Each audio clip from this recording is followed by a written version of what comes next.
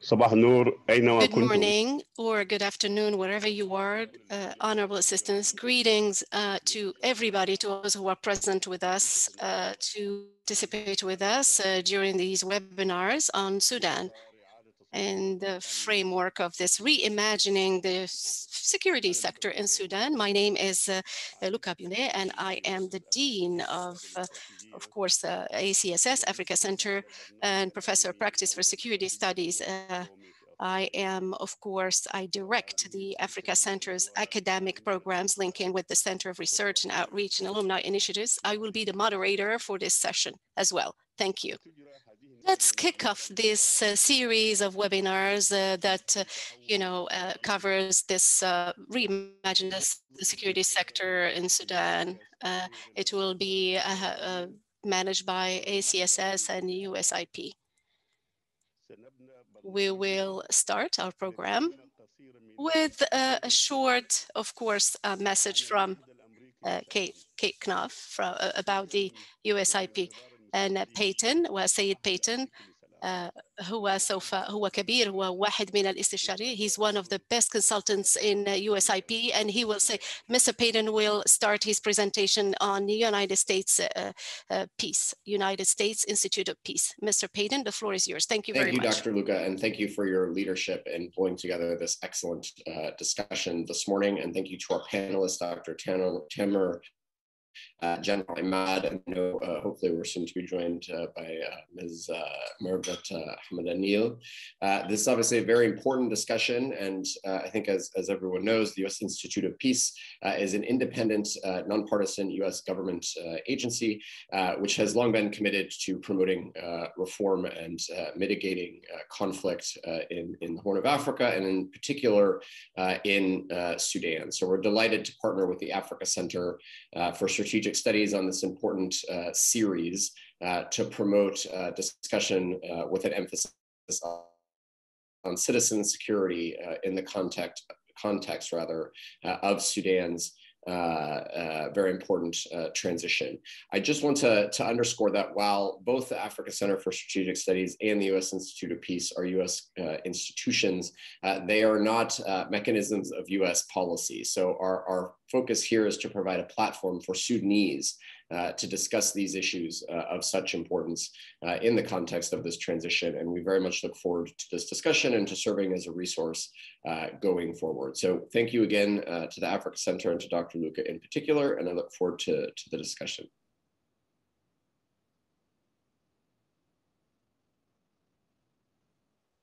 شكرا جزيلا آه، بيتن Thank you very much, uh, Mr. Payton, for this uh, introduction. We would like to uh, express our greetings one more and uh, greetings to all those who have participated to, uh, of course, the uh, the role of the security sector. And before kicking off this meeting, I would like to uh, to uh, to uh, of course give you a little uh, introduction on uh, ACSS, especially for those who have uh, at- not attended uh, this these sessions. The Africa Center for, of course, uh, Africa Center for Strategic Studies uh, uh, is a U.S. Department of State institution established and funded by Congress and for the study and security issues relating to Africa and serving as a forum for bilateral and multilateral research communication. It's, it is an exchange idea involving military and civilian participants. Uh, it is. It has a special, uh, of course, mission, and its it, its uh, mission is to advance security sector by expanding and security uh, understanding, providing a trusted platform for dialogue and building enduring partnerships. Of course, uh, as I said, the mission is to advance America's uh, sector by expanding understanding and providing a trusted platform for dialogue, building, for example, enduring partnerships and catalyzing strategic solutions. We hope that the series of webinars, uh, especially when we talk about this transit, democratic transition of Sudan, will help and will uh, provide you with a, a better understanding of the security sector in Sudan. And I hope it will be the start of a national uh, dialogue to find uh, Sudanese solution, solutions in the security sector so that it can play a better role in the uh, civilian, civilian rule. Before uh, presenting of course, the speaker, the speakers, I would like to uh, go back to the first session and uh, especially regarding the role of the security sector. First and foremost, ladies and gentlemen, uh, the uh, experience of Tunisia. Despite its specificity and its difference uh, from the Sudanese experience, there are some lessons that we can draw and uh, I, I, see that there are it's a good experience to learn from. First uh, after a period of time uh, there are so many uh, challenges that the tunisian uh, uh, people have confronted and of course which ensured the transition from authoritarian authoritarian regime to a democratic regime which usually takes a long time. Second there is the the maintain of and of course the insistence of the people's uh, uh, uh conscious raising, uh, raising, conscious raising and awareness raising. And third, the trust in the overall sectors and realizing peace and security for the people in order to preserve this, the process of transitional democracy. Number four, the civilian and the military rule is very important to talk about the transition towards this elected and civilian uh, government.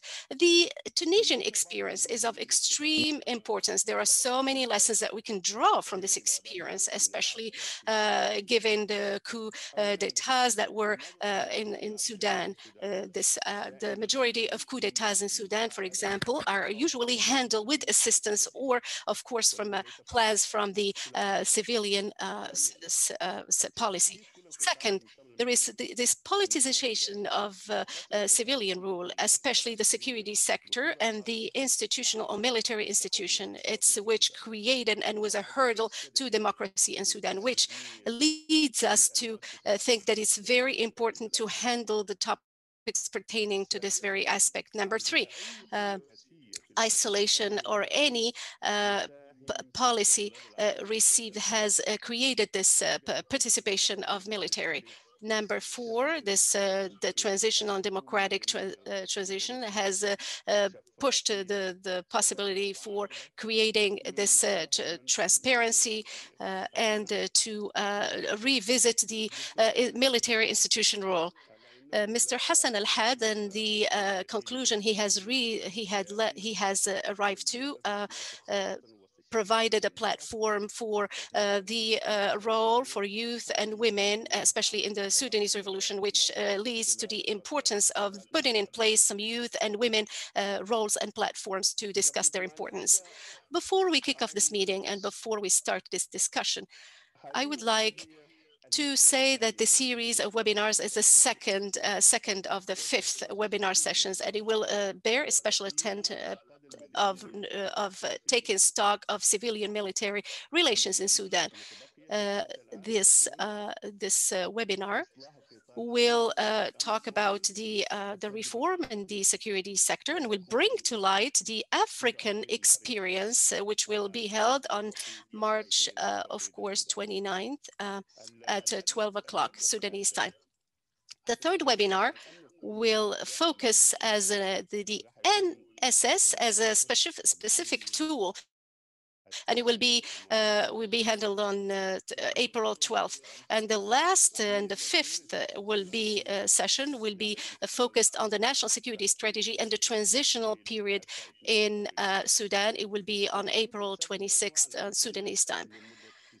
it will be online and it will be covered during 90 minutes. It will uh, bear and it will focus. Uh, some of them will be recorded and there will be moderators and speakers who will uh, provide their presentations. After that, that will be followed by a question and answer session that will be covered during 30 uh, minutes during the first uh, session. We will, uh, of course, give you the opportunity to ask questions and participants to express, the, to express their questions. The objectives of these uh, webinars uh, are very important. Uh, we are talking about civilian and military uh, relations in Sudan. We will talk also about the challenges in order to foster dialogue and build trust uh, from the security, from the civilian and military rules. We will talk about uh, the necessity to provide understanding to the people and provide wide military rule. Uh, it will be a great opportunity to, of course, uh, uh, to improve the civilian military uh, relations, especially during this transitional phase. Before starting this uh, dialogue, we have to focus on some very important issues. First, as I said, there are two uh, main topics. Uh, there will be a dialogue with the uh, participants and it will be the microphone will be uh, will be uh, offered. And so the second uh, session will be questions and answers Today, I think it will be, uh, there is this non-attribution policy in order to foster quick dialogue and fast uh, understanding between the participants. Please do not regard decision. It's very important. Uh, we will, we, we are keen on listening and uh, benefiting from your ideas. We ask you not to cite any comment from any participants, please. So the non-attribution policy is very important to take into account during the questions and answer session if you'd like to express a comment or ask a question, we kindly ask you to um, to uh, express that in the function at Zoom. And when we ask you to uh, express your comment, we ask you to um, activate your microphone and uh, once you finish your presentation or your question, we ask you to deactivate your uh, questions. The questions will be both in Arabic and English language. You have the possibility to ask your questions, especially after dialogue, to use the, ch the chat function especially at the it's a uh, it's at the bottom of the screen and if you are uh, needing any technical assistance we kindly ask you to again use the chat and ask your questions our staff from uh, ACS and uh, USIP will make sure to address your questions, uh, of course, uh, through this chat. Uh, today, we will introduce the speakers. I am very pleased to, uh, of course, uh, present three speakers who have wide experience and they have a deep understanding on the Sudanese rule. Uh, it's a team, uh, of course, uh, Ahmed, uh, Ahmed Ad-Din uh, Adwi. He is a Major General Ahmed Dawi, and then we have Tamer Mohammed Abdelaziz, and we have Mervat Hamad uh, Al-Nil. Uh, their bios are provided. I will, uh, I will but focus on some of their experience. The first speaker, uh, Major Major General Imad Al-Din Adawi is um, he's the chief of staff of the Sudanese army and he was uh, considered uh, he worked as the commander of western military region and he was a director of the higher military academy and he worked at the general staff of the land forces uh, he was uh, he was a, the director of uh, the Islamic political movement. He was the most prominent officer. He is very no knowledgeable uh, about military matters, and he has, uh, of course, the diploma of the diploma of the le major leaders. He is the he worked. He has received a lot of awards and a lot of prizes, especially from the War Defense Institute and from the Supreme Academy. He is a connoisseur in the uh, in uh, military matters. He has participated in the peace building process. Uh, he has participated in 2005 uh, thank much, Major General Imad Al-Din Adawi for participating, for being present in our session. The second uh, speaker is is uh, is is Mervat Hamad Ad-Din, who is a major who is uh, a political activist. Uh, he began during her time at the university through her work in the field of human rights, and uh, she uh, is uh, uh, she is uh, a graduate of the School of Mathematical Sciences at the University of Khartoum. She is she's doing her diploma now and a PhD in gender, and she activates and cause. She is a member of U. She has Sudan, programs and workshops uh, uh, also outside of Sudan. Dr. Uh, Tamer Mohammed is a lecturer in the Department of uh, Sociology and Social Anthropology at the University of Khartoum.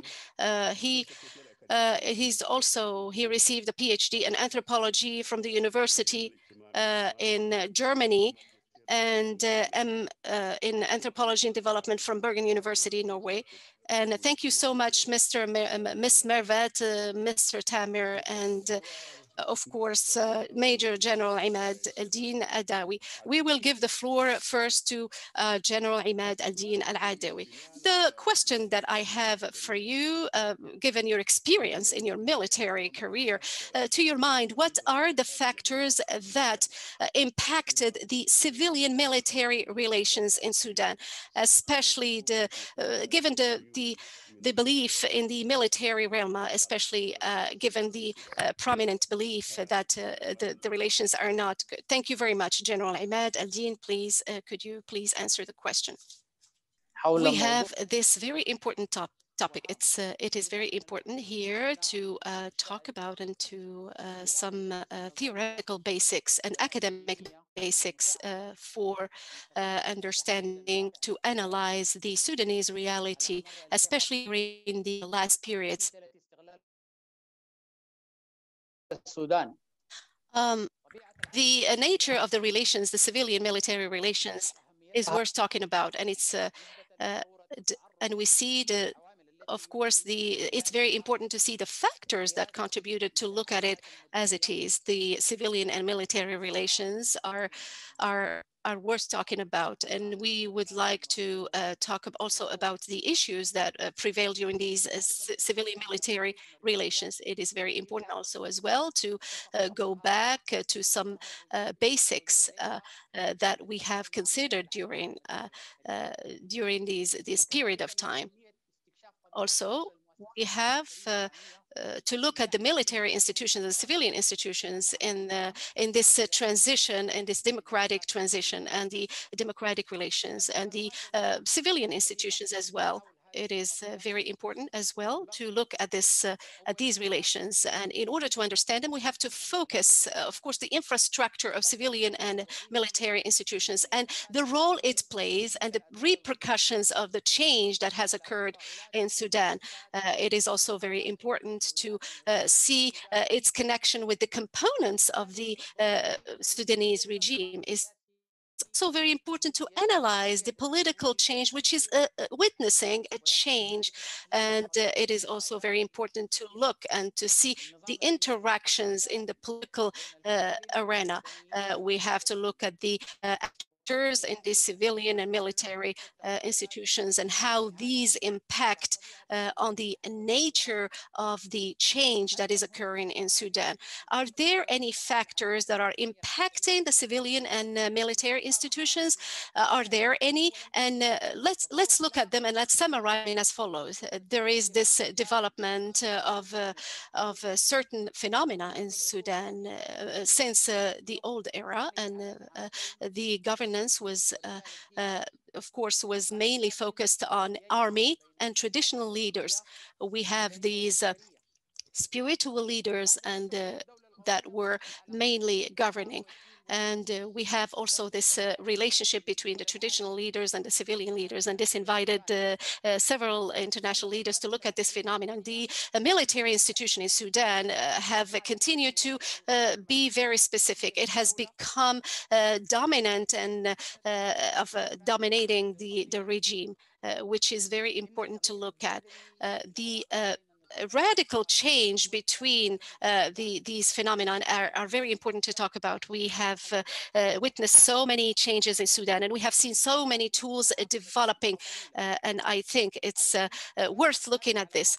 Furthermore, during this relation, civilian and military relations, something very important came out and emerged. We have uh, during these relations that it was very rare to see change happening between the Sudanese authority and, of course, the uh, political and uh, uh, changes, despite the willingness of the military institutions. We have seen uh, several cases during which uh, the military institutions imposed their view, and we have not seen this willingness to provide change or see like a national leadership going on. The second uh, factor that we have seen uh, is in this military and uh, uh civilian institutions is the uh, dominance of these relations. We have seen also the theories, uh, some theories emerging, international theories, uh, the, the theories, and we have seen also some phenomena prevailing. We have seen theories that are completely different from uh, the uh, existing or prevailing theories in Sudan. Uh, we have seen uh, several countries, for example, witnessing the same situation. These theories and these concepts have, be, have emerged, and that's the lack of synergy between the civilian and military relations.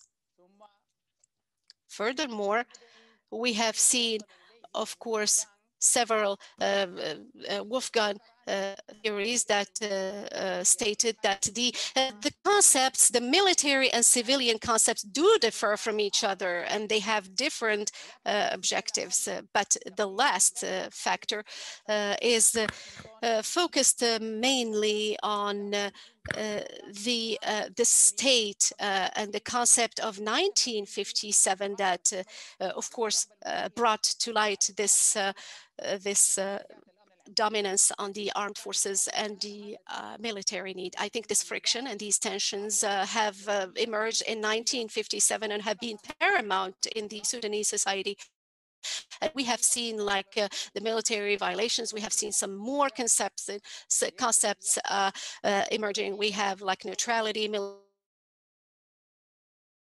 military independence. We have had some beliefs emerging also in the field uh, uh, and that uh, exacerbated the relations. We have also seen uh, that the equation of uh, this voluntary dependence have um, been more pronounced because we have seen a majority of armed forces that proved to be professional and has provided, to, has violated the civilian authority. And this resulted in coups in Sudan. then the concept or the theory of military concept that Peter brought about and uh, it was mainly uh, focusing on a strong army or a robust army that it was at the service of the civilians and uh, this uh, exacerbated the situation. Of course we have seen that uh, the civilians uh, could not do what they wanted to do. This of course was a a very uh, specific topic that we had uh, to uh, handle during this period of time, uh, especially when uh, it's a question of armament and when the army is uh, acquiring arms and is dominating. Uh, this uh, equation uh, was uh, taken into consideration. And the question was as follows, how could a, uh, a situation with the government or with the, the people be uh, improved? So the, the of course, the dominance of civilians on the military institutions is considered to be the main factors in the civilian and military relations. And despite the difference in the theories between the civilian and military, especially concerning checks and balances, we have seen that there were a kind, there was a kind of agreement in this regard. Uh, uh, I think uh, it is the civilian uh, sovereignty was one of the major phenomenon that had to be taken into account. What is common now in the views of a lot of research and literature is that where they concentrate on the relationships of the nation and the elected officials and all of the different kinds of military establishments. And through this logic, that sees in the official establishments the compass of the direction of all of the military and civilian uh, organizations to combine and to form a new relationship. One is that the uh, democratic relationships between military and civilian organizations, which uh, is led by uh, uh, democratically elected officials, uh, even if they do differ in opinion the point is to work in cohesion. And uh, that does not also allow military to interfere in internal politics. But in this political form, this type of relationship actually is different in its form and the way it allows democracy to flourish in a country. So the core of this uh, uh, example is to distance military people away from the political decision making. And in the other way, to opposing uh, on the opposite uh, side of that is that the military uh, in, inter, interfere, of course. Second uh, style is to have a politicized military where you can have political parties of the or the ruling class to have deep influence in the military. And this example usually uh, where you have a revolutionary, for example, military, uh, where it could be a group or a, a political party uh, ruling. The third is the Praetorian military uh, uh, and civilian uh, system where either one affects and interferes in the other's administration. Also, to determine the relationship between military and civilians is the core value of, the traditional nature of the military. For in Sudan, for example, the Sudanese military has always played an, uh, uh, an extra role to what it was usually tasked with, uh, which usually should be defend the and to um, uh, help uh, civilians in extraordinary conditions. This vision is that in a certain kind of chaos that might uh, you know erupt in a kind of a, any kind of nation where some nations have to actually rely on their internal resources is that usually the last arrow in the uh, in, in, the arsenal should be the military that should be ever used, not the first. And I think uh, the uh, important thing here is that the last uh, thing that a military should do is be the one in charge of internal security and politics. That is why I think there should be certain uh, conditions in a nation to uh, hinder that kind of mingling and mixing where between lines of roles in these establishments that should uh, for example include the role of the military sorry the civilian uh, government to be the ones to draw the lines and boundaries of where these roles really lie and also to place proper laws and legislations within the framework of the constitution to dictate all of this. And because the military and security apparatus, if they fall out of their traditional roles without the oversight of civilian governing, can be very threatening to the democracy of a nation. The fifth point, Dr. Luque, if I may, is the interference of outright military in the politics. And any kind of democratic rule uh, and government in a country. So the military uh, interference would be the most feared kind of system for them to come and play a political role. Military interference can be defined as that the military apparatus or a part of it can become a part of the political decision making in the direct uh, form by taking over the government and allowing the military uh, officers to uh, play a ruling role and making a military government. And there's many examples throughout history, like the uh, like the Guardians and the uh, uh that became the uh, uh, system instead of the military, instead of the civilian, and they become the ones who uh, uh, enforce any kind of uh, change. And the other one is the direct and full-blown military system to rule the, the country, which kind of comes from uh, any kind of military alliance. Alliance happens between uh, military uh, individuals and sections and some civilians who come hand in hand and a lot of coups happen. And what happens is a lot of elitist kind of um, chosen sections and sectors from both sides kind of monopolize the role.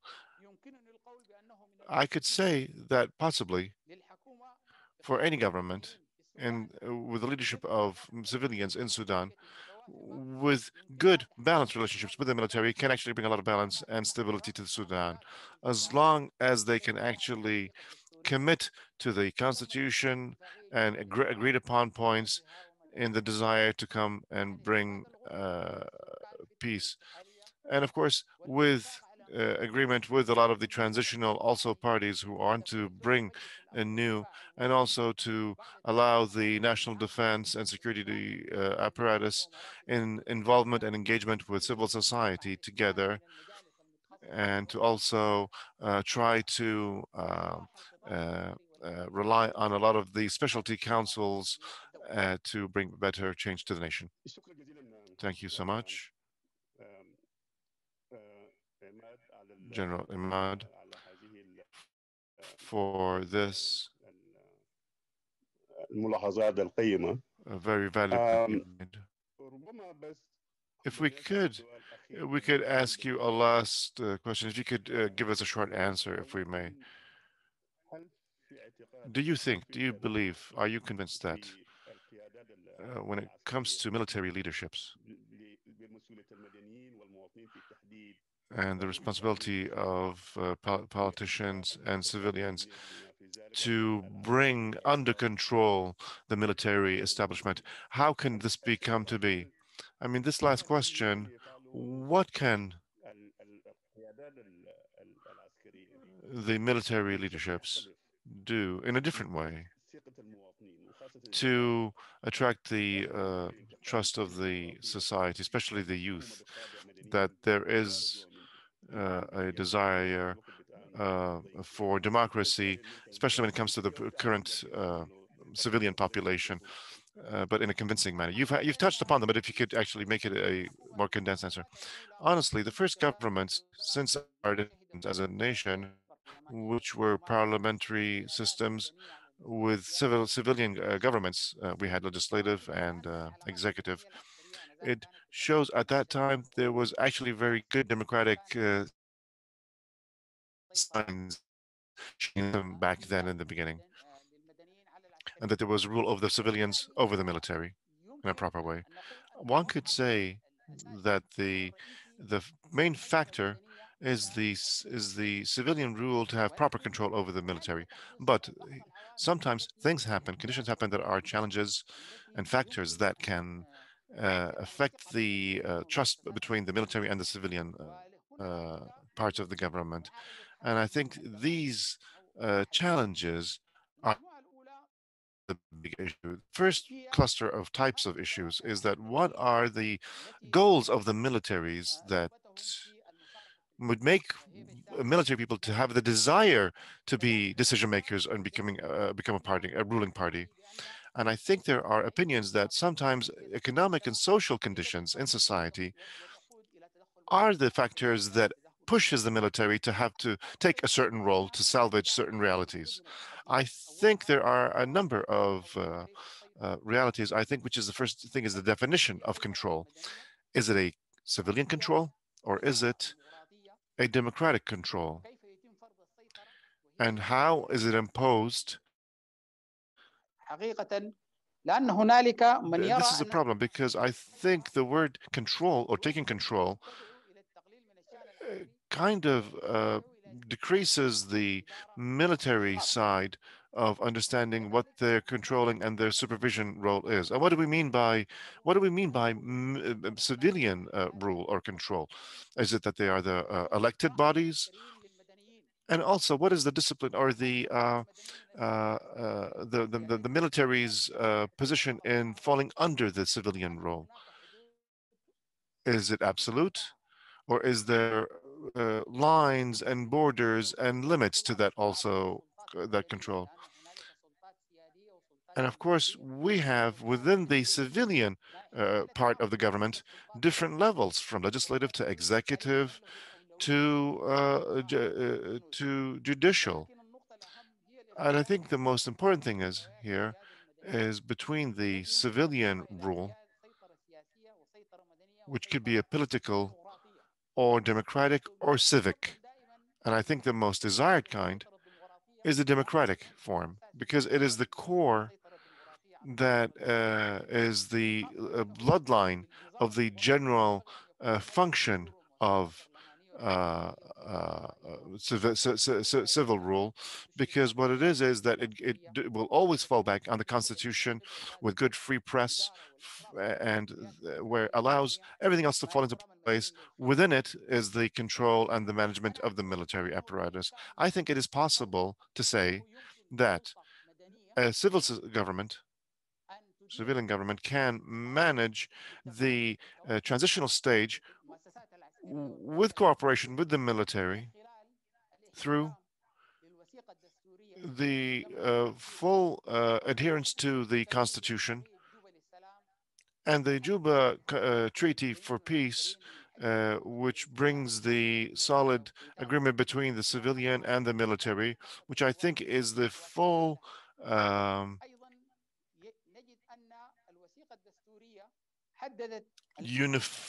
uniformity between the military. But I think the whole thing is needs way more details, uh, especially when it comes to the specialty understanding of all of the factors, and to understand that there are many standards that can help in bettering the relationship between the civilians and the military. And that I think uh, needs a lot of effort to uh, empower the uh, relationships in this transitional stage.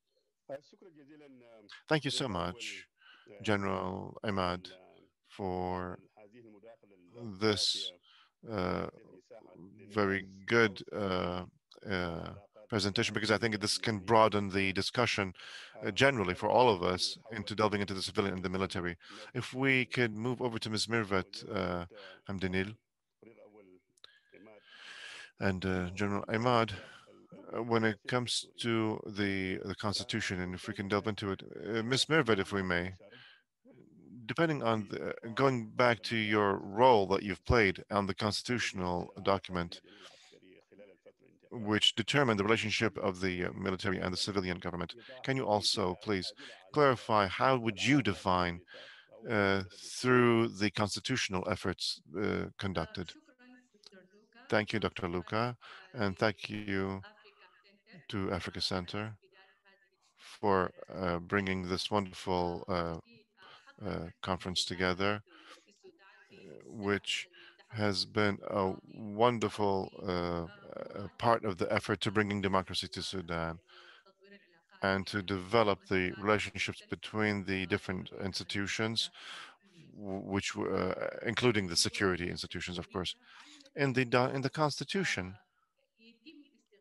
The point and the hope is that to if we could uh, through democracy to transition to uh, uh, a government uh, that relies on the debate of the uh, constitution and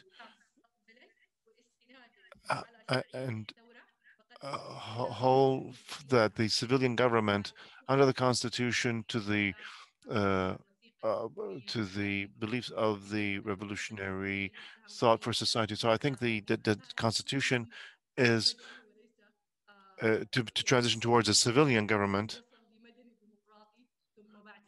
and hopefully to democracy and after that which that the civilian part of the government will have full control over the military and the security uh, apparatus. Also, in in uh, Article number five says that the uh, that the rule is for uh, the people, not the government. The people are the highest level of authority over everything, and that the for the power comes from the people, and uh, and and of course this branches out into full clarification of what this is and what this means.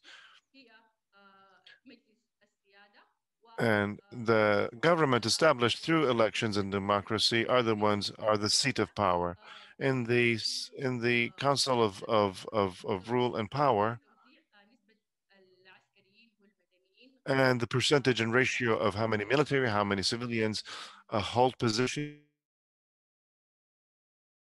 in this cause and another agreement came after that is that the number is 13 and 14. And then the distribution uh, uh, of the role of the uh, the and the role and the level of the role between the civilian and the military And hopefully the military will take its role, which was determined, and the civilian will also too. In the Council of uh, Ministers, the appointment of the two desks of the Interior Ministry and the Defense is that for it to be also in a certain form and that they uh, bring forth a short list of names for people to be assigned as ministers and that the prime minister will uh, sign them and appoint them according to the constitution. When it comes to the parliament or the legislative body, is that the first three months, the the transitional period of that body will also be put together, and that uh, 70, 67% will for the will be for the movement of the change and reform, and the rest of the percentage will be uh, uh, representing the military kind of uh, and and uh, establishment uh, institution uh, the,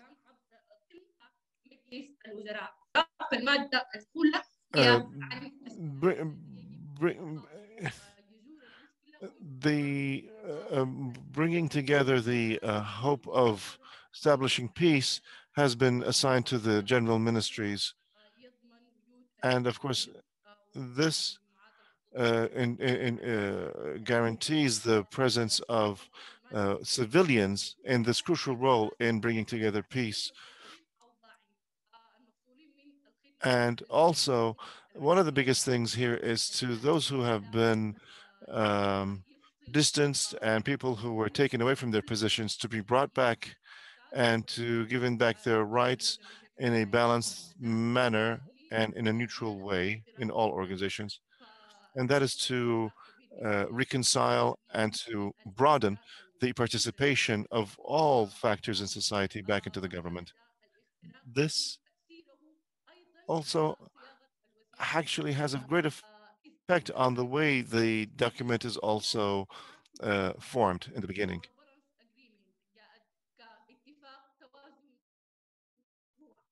And this was on a balanced agreement, which was what was really uh, desired from the beginning.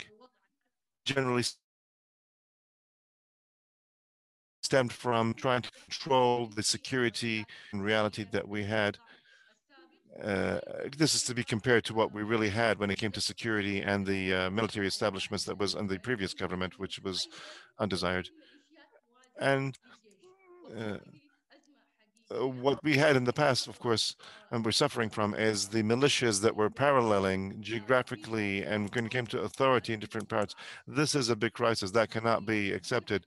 That is why the transitional effort right now uh, is trying to work against that.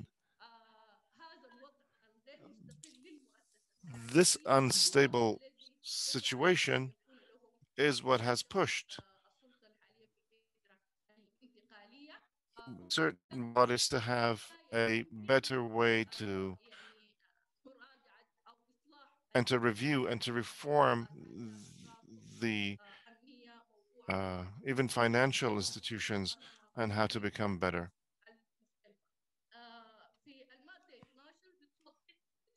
And article number 12 is to reform the national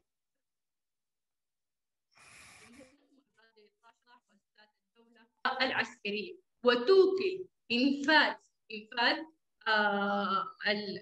إصلاح um,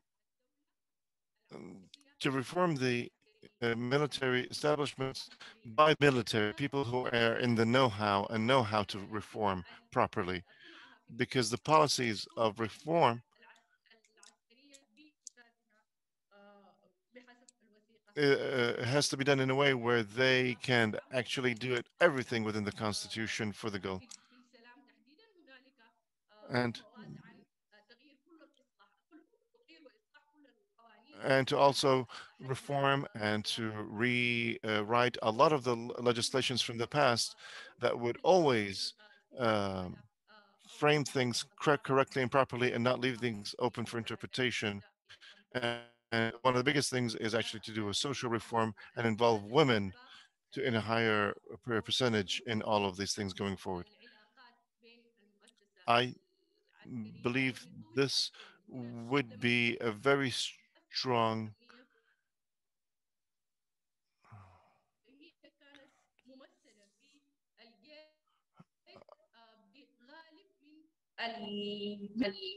I, uh, that is the military in the past comprised a lot of the faces who were in the military councils. Mr. Imad remembers a lot of the faces, and and uh, there was also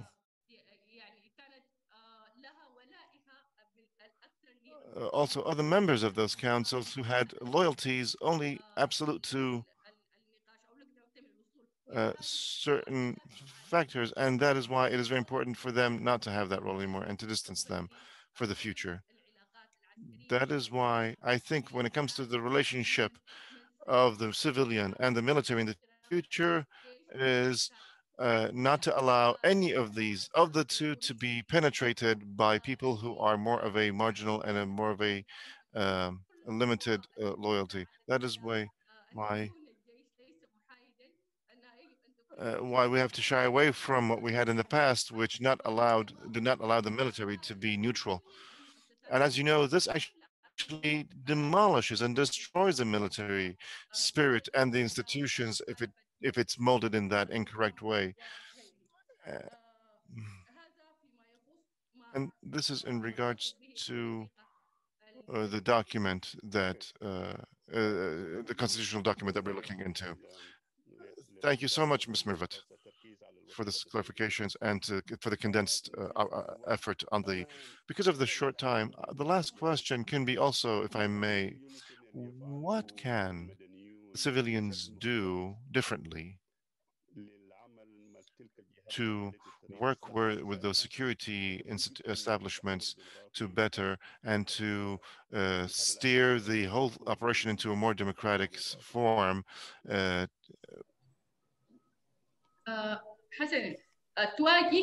yes. Can you hear me? Pardon me? Yes, please. Yes the civilians and the military uh, have been faced uh, have faced the problem in committing to the details and the letter of the document of the Constitution, and all of the shortcomings in it as a document actually represents uh, the effort where the transitional effort has to fix. But the thing is, this document has not been fully respected and abided by. So I think what is required is the civilians. If the civilians actually fully abide by and follow it, they will command a respect that anyone, everyone else will follow suit.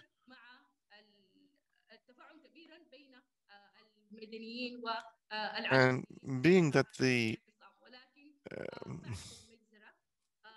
after the massacre of the protests that happened, I believe that the relationships actually deteriorated and became even worse. Uh, uh, and, and the thing is, I think the massacres that happened uh, were the was the big push, but the relationships did not become better between the two sides. And it also culminated in that it showed that there was not a deep-rooted relationship between the military and the civilian also.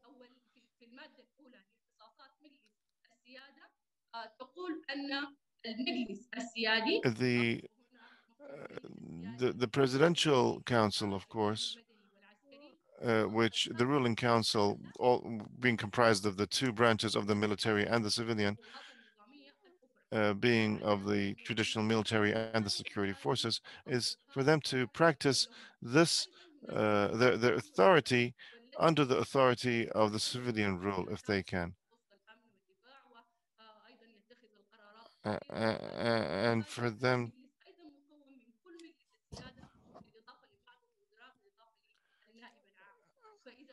but if they can practice their authorities in this form and the bodies governing in this council, they can create a strong relationship between the civilians and the military who do believe in this transition to a better system. That's a very important point.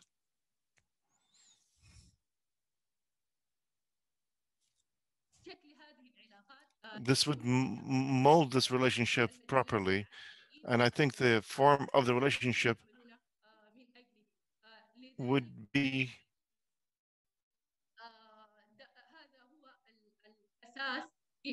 uh, that would be the foundation and a good point of trust between the military and the civilians.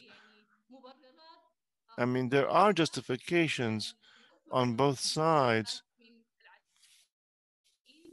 for the interference of the military when they need to sometimes, and the civilians also lacked in trying to use their power properly uh, in the correct manner. And uh, Mr. Imad did mention a good point when he said that the military and the uh, democratic logic might not meet and overlap, but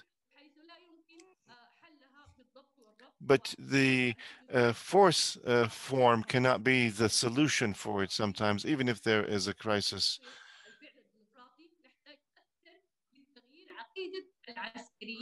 And the thing about the democracy uh, journey is that it has to also start with trying to better and to reform the core belief of the military for what they aim for. Even if you take it from the security principle and philosophy, we have to always coordinate with the military and through tanks and institutions to determine the actual role and to define the role of the military to in protection of the nation and the constitution so that uh, the governing uh, system cannot be turned into a chaos or chaotic uh, الأوضاع الأمنية السيئة ومن التعدي السلطة العسكرية في الحكم. Okay.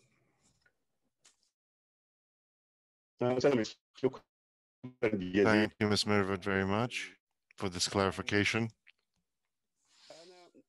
I would like to trans transit to Dr. Tamer.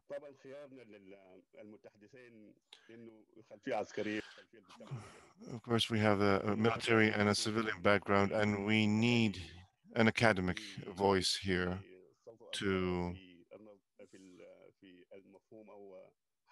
shed some light onto what we have to compare between the two earlier speakers.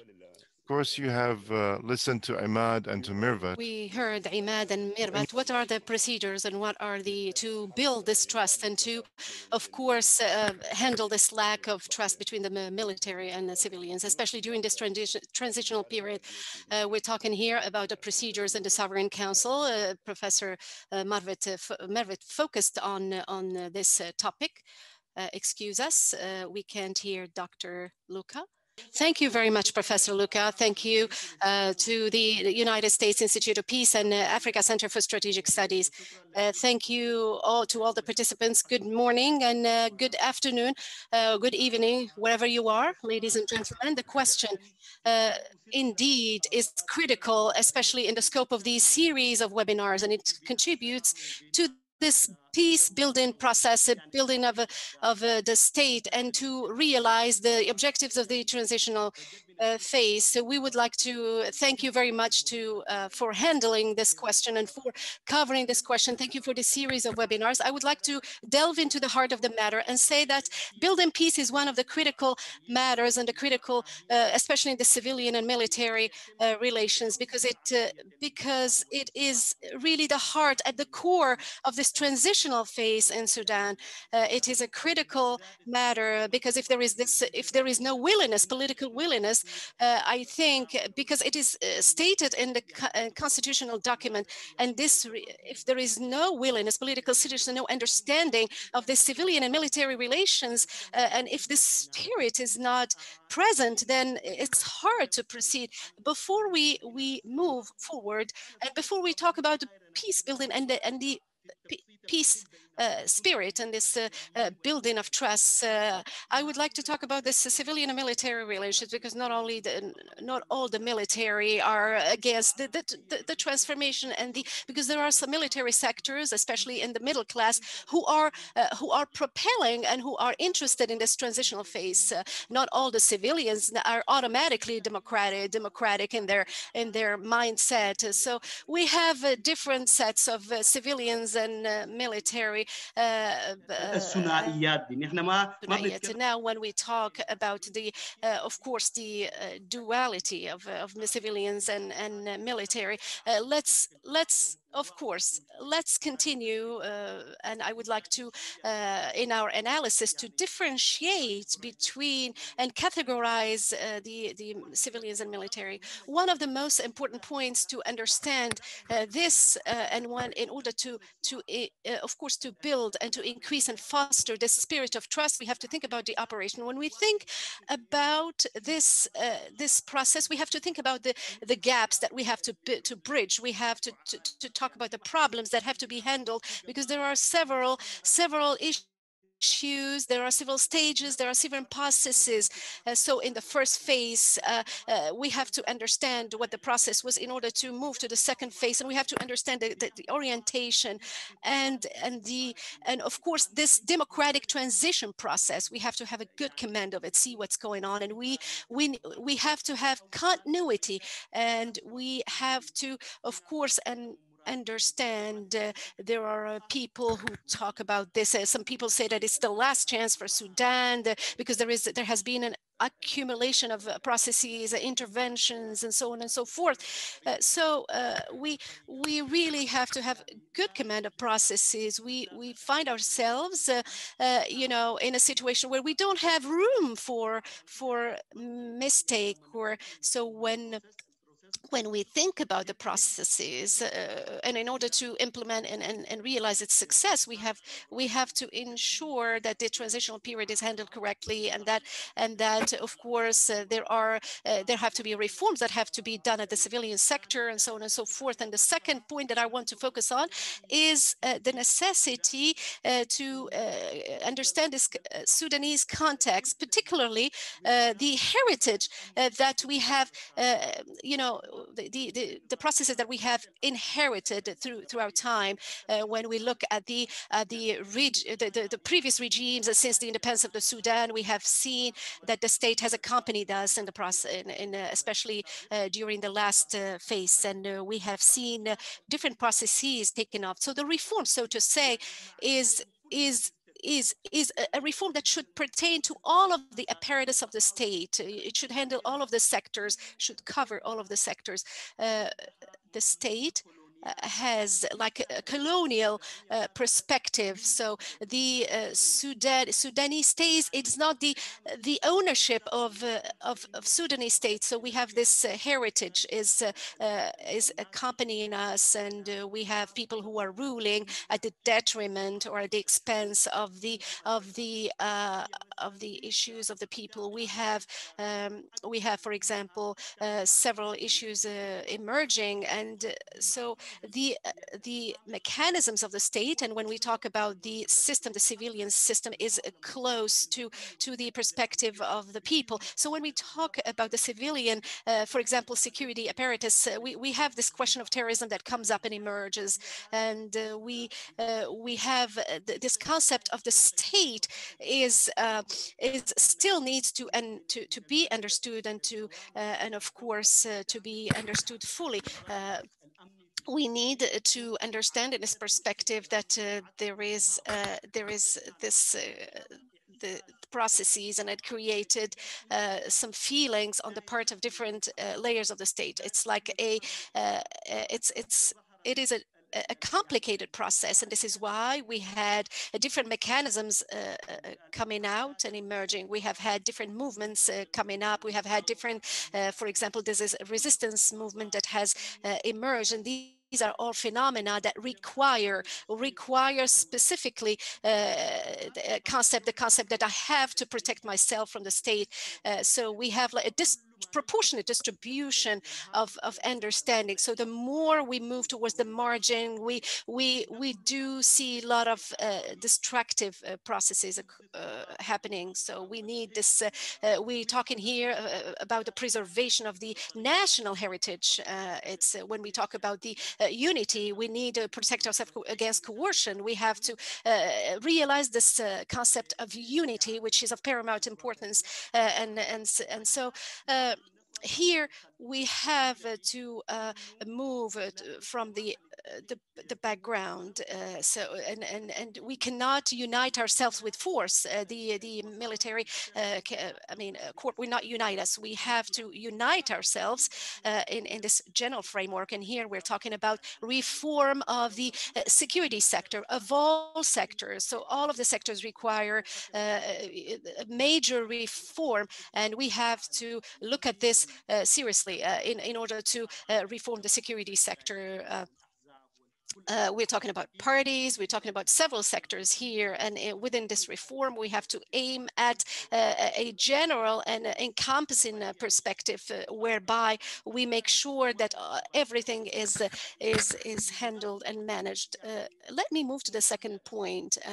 a second point pertaining to the importance of uh, what we call uh, the uh, opportunities and uh, uh, and threats uh, before the pre-revolution, the revolution, and the post-revolution period. and when we talk here about institutions, civilian and military institutions, and the civilian rule as a citizen. So one of the opportunities that we see here when we look at the existing threats and and and challenges. The greatest opportunities is that uh, is that the uh, the revolution in Sudan presented us with uh, with several concepts, uh, you know, peace, justice, and security. Uh, there is this awareness, people awareness. It is the major guarantee. The awareness of people is the major guarantee for success. It is one of the major guarantee in Sudan. So we're talking about awareness. The awareness is a critical issue.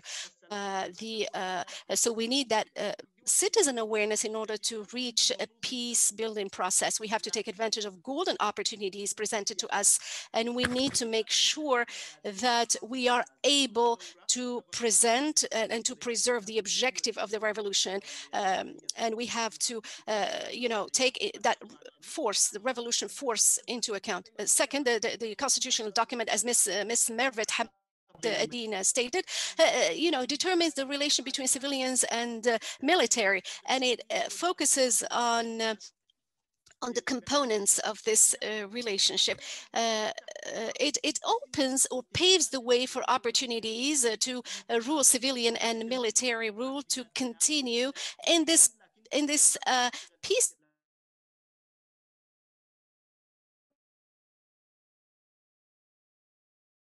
building process. Uh, trust, uh, as the this uh, constitutional document stipulates and, and, and focuses on on this opportunity, uh, an opportunity for visions. Uh, the visions may be may be different, but they can be ironed out. The, the visions can be ironed out. It's uh, also threatened by the economic existing condition. so the economic situation is is is in the, in the lack of prosperity. So sometimes we see ourselves that we tend to blame the government or the civilian uh, government, civilian rule, and uh, we we. So I think it there has to be there is some competition between uh, the the, the two, but I, I, will talk about the opportunities and also about the existing challenges. The revolution paved the way as well uh, for uh, for for existing mechanisms. Uh, for example, transitional justice mechanism of transitional justice, and it paved the way for a new for a new beginning. and so through the transitional justice uh, process, process, uh, we see that, uh, for example, oppression could be uh, could be wiped out, and uh, and uh, and this trust uh, has two sides. Is is it? and Mr. Ahmed has talked about monopoly of violence and has talked also about the this monopoly of violence. It has to be uh, accompanied by another process. We need to have, thanks to it, uh, a um, uh, uh, Uh, uh, uh, systems that are governed by uh, by rule. So the implementation of of of of, of course of the of of the the rule or of uh, and, and I think it's an opportunity for people to protect themselves, and it's an opportunity for people to understand through this process of uh, justice that uh, uh that the situation can be improved. Uh, we have said that this transitional justice is a tool. One of the ah. threats or one of the challenges uh, that I see is that the process is very slow, and that there is a lack of of, of there is this frustration and, and there is this distrust building. we see that, for example, sometimes justice is not uh, implemented and people, the citizens feel uh, that uh, they feel that there is this lack of trust. Number four, the um, of course security um, forces is one of the sees itself as a par partner in this revolution and it's committed to its objectives. It's, it's, it's a good vision. We are all partners in this uh, process. Uh, uh and it, it is, uh, of course, uh, th there are so many analyses in this regard. And uh, we see that there are leadership that was following the old, the old regimes and they were try trying to preserve their interests and uh, and and and they joined the revolution and it, and and there and we see that there are there is change but i think that they need to uh, prove themselves and to and and to focus on these on these uh, questions uh, more particularly so one of the things is that is of the uh, suppression system has has it changed properly or uh, uh, from the things that we were saw in the past. But the thing, but the point after that is that if we could talk about the uh, redirection of resources properly, because it's another point of trying to reinforce um, uh, trust. You have to understand it was a it was a, it was a war-based nation, and all of its economy and its resources was directed towards a war effort. The thing is, can a redirection of national resources and wealth be redirected, reformed in a way for you know uh, infrastructure and of course, you have to understand that security of a nation is goes hand in hand with development and healthy nation, healthy economy. And that's one of the things I think that could make people, make the society, that they feel deeply that there is a positive and there is reasons for them to rebuild and to allow trust. So it's a long process. We have to be patient, but the patience is uh, has comes from a desire that you are convinced that there is a right path. But if you know if you're on the right path, even if mistakes happen, people will not uh, lift their hands. So if I make make a few very quick points, if I may, there is. Um, if there is a global support, even if it's a theor theoretic, I mean, I mean, if it's the EU or the United Nations, United Nations States, I think at least when it comes to, if, even if it's just rhetoric, that they do allow and help for the democratic uh, uh, transition to happen. But I think there are also regional forces that can actually be, play a negative role if they were to interfere in a nation. Uh, not, not all dimensions and views are homogeneous or on the same path. One of the things also is that the is the oppressive style uh, uh, of the transitional government has gone down. That's a positive thing, of course. But I think the oppressive style can still open uh, uh, a dialogue on the strategic because when it comes to dialogue, you have to understand it means participation. Participation is the core thing about dialogue.